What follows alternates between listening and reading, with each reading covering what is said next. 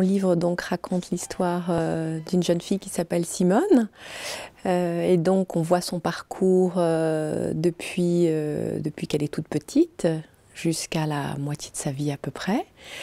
Et donc ça raconte son histoire, la façon dont elle évolue. sa vie donc dans le, son, dans le pavillon de banlieue avec son, son père qui est, son, avec sa mère et son père qui sont policiers, avec sa grand-mère. Donc euh, au tout début de l'histoire, ça permet de voir un petit peu comment Simone se situe dans cette famille euh, un peu spéciale. Les parents travaillent beaucoup, euh, ils sont très comment dire, ils sont très euh, touchés par leur travail euh, qui, provoque chez eux beaucoup de réactions, donc euh, la violence qu'ils sont obligés de voir tous les jours, comment ça se répercute chez eux, les relations du père avec sa mère, les relations de la belle-fille avec sa mère, donc tout ça crée une, une, sorte d'ambiance au départ qui montre comment Simone vit.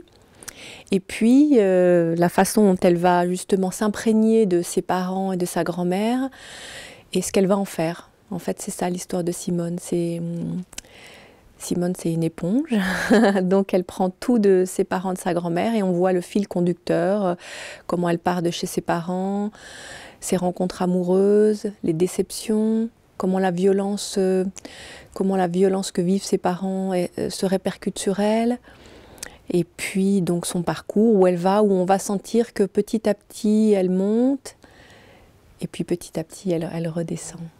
Comment j'ai eu envie d'écrire ce livre, euh, c'est toujours difficile à expliquer. Ça vient, ça, tout se passe dans la tête. c'est l'observation des gens, l'observation euh, du monde, euh, de ce qui nous entoure, la façon dont on est touché par certains sentiments, la façon dont on est dont on perçoit. Euh, je sais, c'est très difficile à expliquer. C'est quelque chose qu'on sent soit. C'est comme une, c'est comme si on avait une petite plante qui pousse dans notre dans notre ventre et voilà. Donc on la laisse grandir, on l'arrose, on la laisse pousser et puis tout d'un coup, voilà, on fait un on fait un livre avec. C'est le parcours d'une femme, voilà.